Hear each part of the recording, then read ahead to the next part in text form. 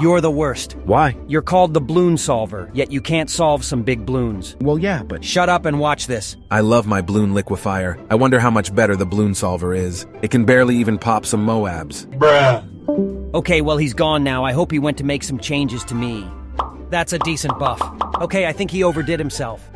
Yo, Permaspike, what's up? I have decided to give you my power, the power of Opnus. What do you mean? Well, I decided to ask Ninja Kiwi to get rid of my pierce, damage, and attack speed and give them to you. Bro, is that actually for real? No, it's not. He's just coping because he lost his power. Aye, but I'm still stronger than him, El Permaspike. There we go, I solved the problem.